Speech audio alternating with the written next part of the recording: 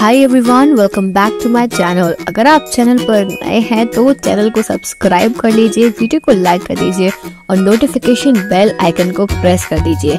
इस चैनल पर आपको मिलती है बेस्ट करियर गाइडेंस यूनिवर्सिटी से रिलेटेड सारे अपडेट्स साथ ही में फोरेंसिक साइंस के स्पेशल लेक्चर्स तो जल्दी से सब्सक्राइब कर लीजिए लाइक कर दीजिए और वीडियो को शेयर करना मत भूलिए।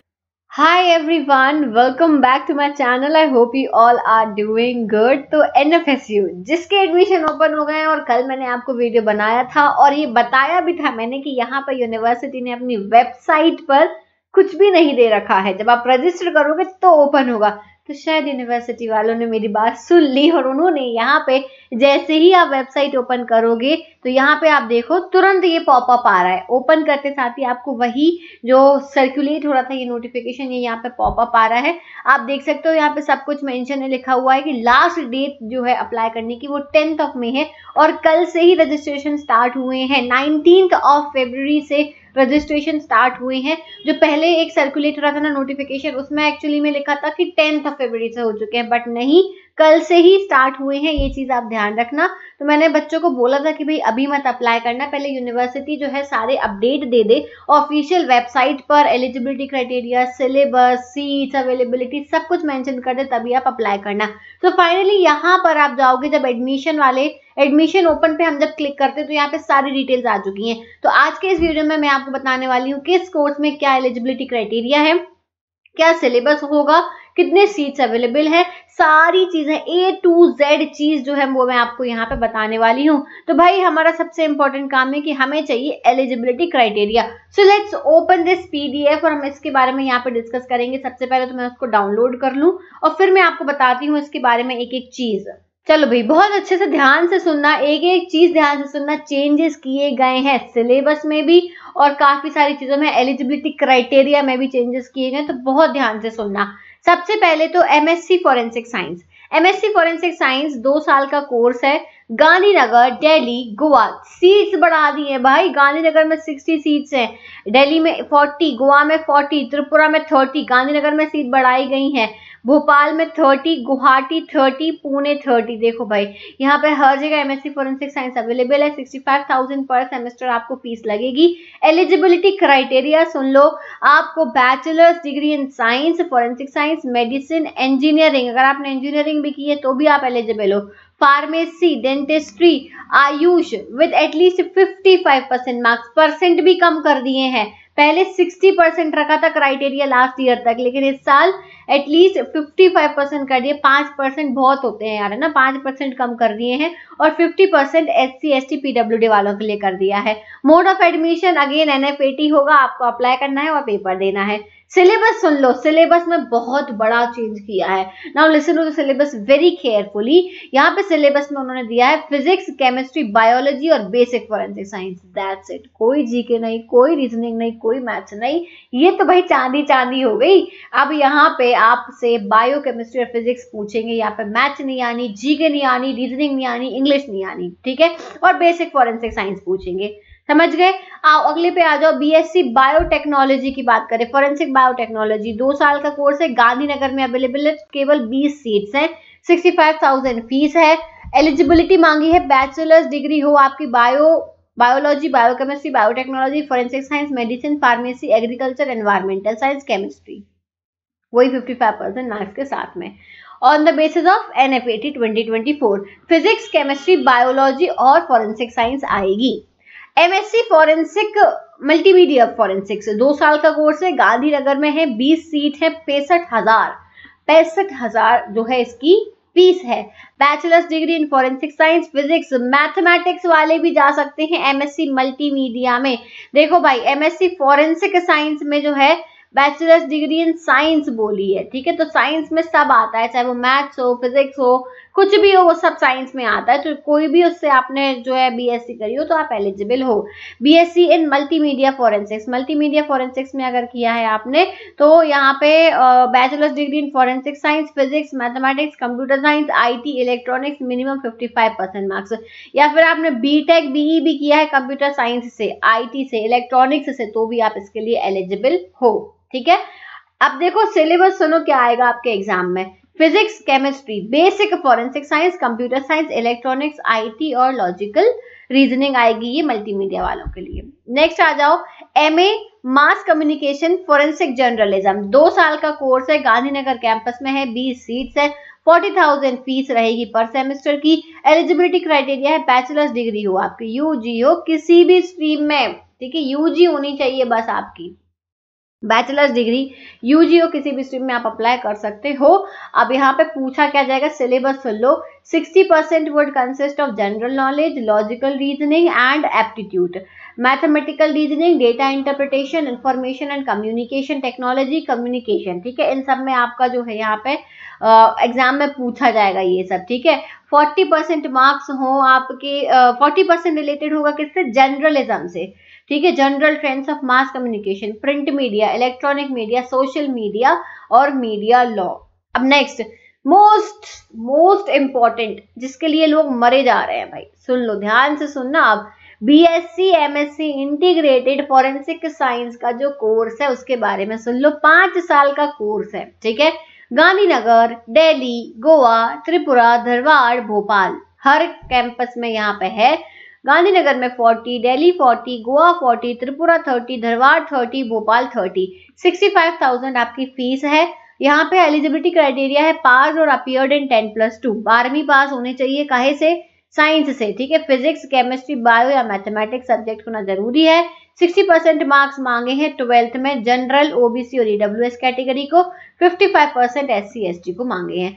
ठीक है? एग्ज़ाम में आपसे क्या पूछा जाएगा? सिलेबस सुन लो physics chemistry biology ten plus two level का आपसे पूछा जाएगा, ठीक है? ट्वेल्थ लेवल का।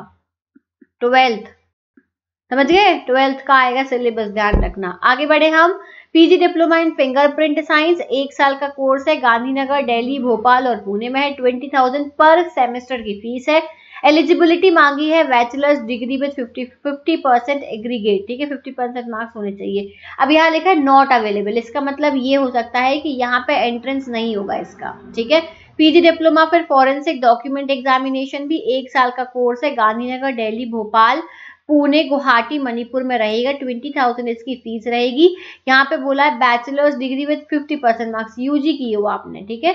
और यहाँ पे भी नॉट अवेलेबल यानी कि आपको जो है यहाँ पे आ, मेरिट बेस पे होगा एग्ज़ाम नहीं कंडक्ट कराया जाएगा। नेक्स्ट आ जाओ PG diploma in DNA forensics DNA forensics में पीजी डिप्लोमा हो, भोपाल, पुणे, गुवाहाटी में अवेलेबल है 20 20 20 सीट है ट्वेंटी थाउज़ेंड पर सेमेस्टर की फ़ीस लगेगी। बीएससी हो साइंस में फॉरेंसिक साइंस में मेडिसिन फार्मेसी और इसमें भी जो है यहाँ पे एलिजिबिलिटी वो बोलते हैं, क्या बोलते हैं मेरिट बेसिस पे होगा। फॉर्म डालना पड़ेगा, ऐसा नहीं है कि फॉर्म नहीं डालना पड़ेगा। फॉर्म डालोगे मेरिट बेसिस पे होगा। एंट्रेंस एग्ज़ाम नहीं होगा। PG diploma in crime scene management में भी आपका एंट्रेंस एग्ज़ाम नहीं होगा। PG diploma in forensic journalism में भी यहाँ पे नहीं होगा कोई entrance exam PG diploma in ballistics forensic ballistic Guwahati और मणिपुर में बस है और अगेन कोई एग्ज़ाम नहीं होगा।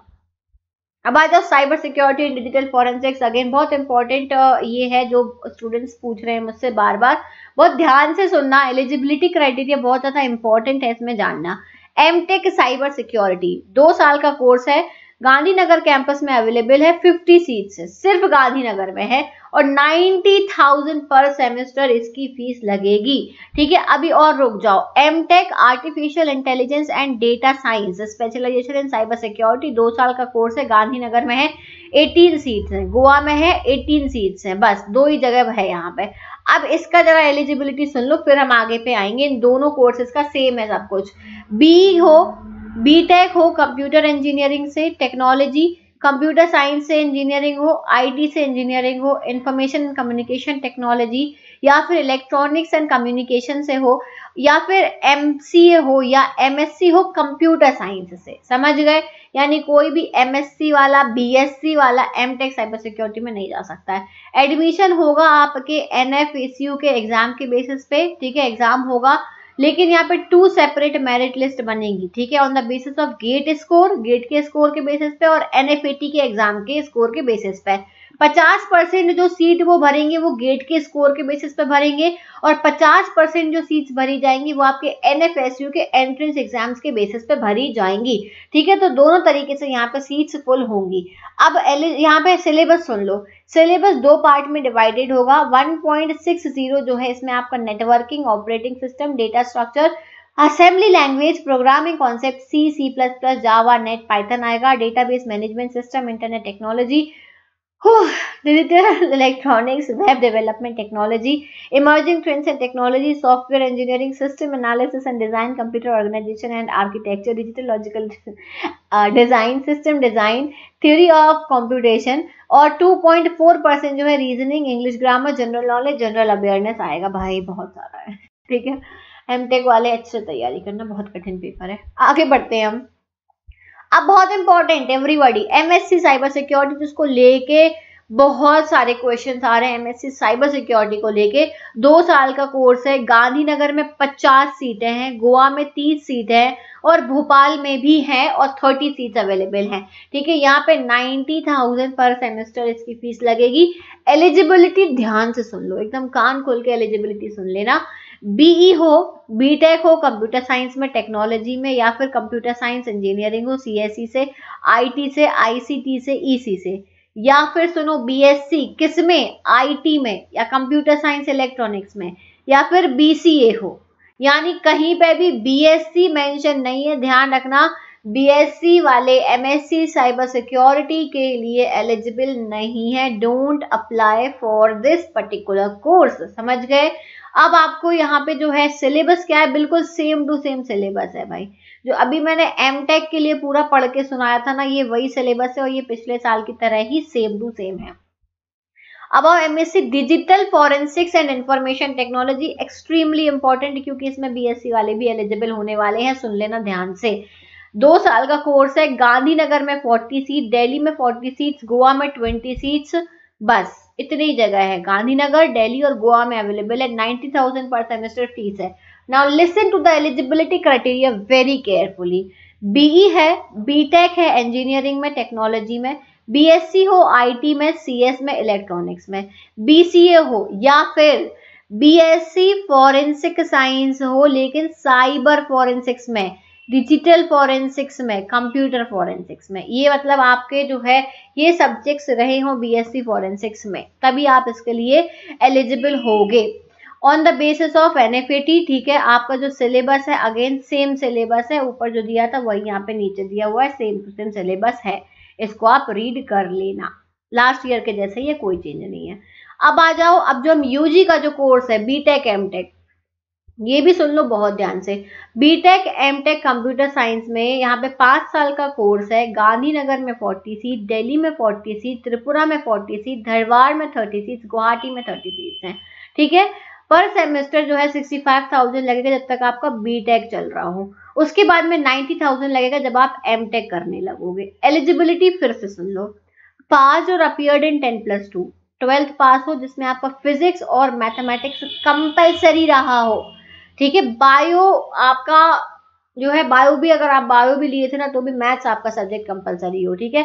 With one subject along with chemistry bio information practice biotechnology इनमें से कोई भी एक सब्जेक्ट चल जाएगा और 60 परसेंट मार्क्स रहे हो। ध्यान रखना 60 परसेंट मार्क्स आपका पी सी एम का मिला के या फिर पी बी एम यानी मेन जो सब्जेक्ट्स हैं, उनके ही काउंट करके 60 परसेंट हो।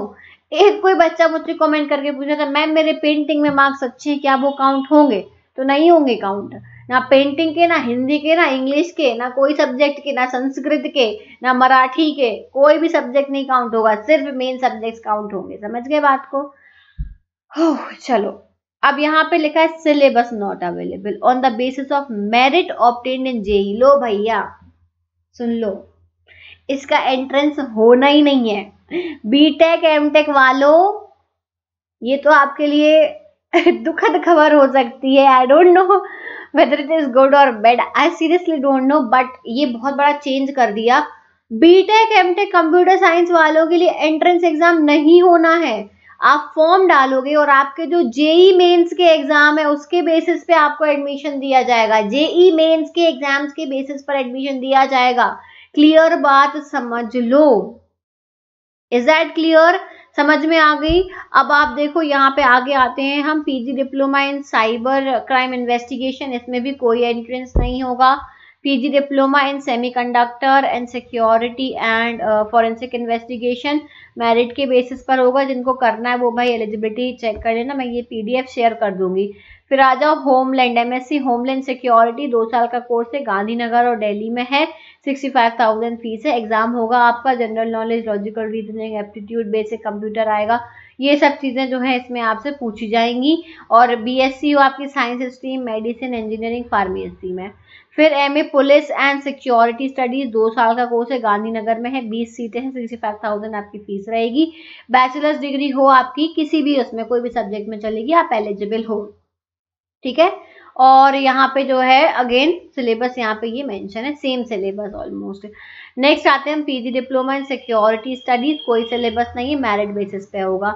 डिप्लोमा इन कैनाइन फॉरेंसिक्स कोई यहाँ पे सिलेबस नहीं है मैरिट बेसिस पे होगा. ट्वेल्थ करी हुआ आपने, बस दैट्स इट इसके बाद में आ जाओ भाई इंजीनियरिंग पे आते हैं MSc nanotechnology MSc nanotechnology में आपका एंट्रेंस एग्ज़ाम होगा.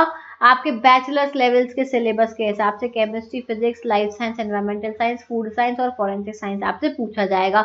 आपने बैचलर्स करी हो साइंस में मेडिसिन में इंजीनियरिंग में फार्मेसी डेंटिस्ट्री में तो आप एलिजिबल हो।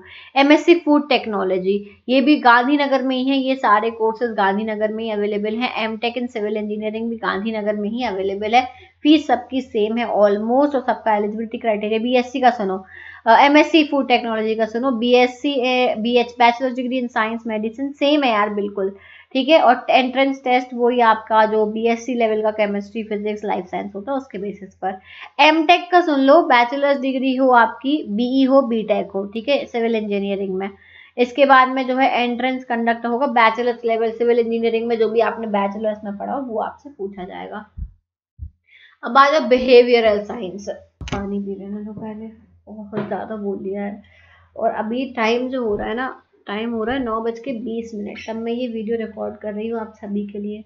और मैं दिन भर से काम कर रही हूँ now I am extremely tired but I am still doing this क्योंकि अपडेट आया और काफ़ी सारे मुझे जैसे ही ये अपडेट आया तो मुझे मैसेजेस आना स्टार्ट हो गए। स्टूडेंट्स परेशान होने लगे कि क्या है, कैसा है? इसलिए मुझे रात में ही ये वीडियो रिकॉर्ड करना पड़ रहा है। This is the last video आज के लिए ये लास्ट है। नौ बीस हो चुके हैं। बस आज यही, बस मैं कर पाऊँगी इसके में आपको कोई काम नहीं। एम फिल क्लिनिकल साइकोलॉजी की हम बात करते हैं। ड्यूरेशन जो है दो साल का है। गांधीनगर और डेली कैंपस में है। मात्र बारह बारह सीट्स अवेलेबल है। Seventy five thousand per semester fees है। एलिजिबिलिटी क्राइटेरिया क्या है? मिनिमम एजुकेशनल क्वालिफिकेशन हो। M M S C degree हो साइकोलॉजी में। समझिए बस। आगे मोड ऑफ़ एडमिशन एनएफएटी के मार्क्स के थ्रू होगा 90 परसेंट वो मार्क्स लिए जाएँगे और 10 परसेंट इंटरव्यू इंटरव्यू के मार्क्स काउंट होंगे, ठीक है? 90 मार्क्स का पेपर और 10 मार्क्स का इंटरव्यू होगा।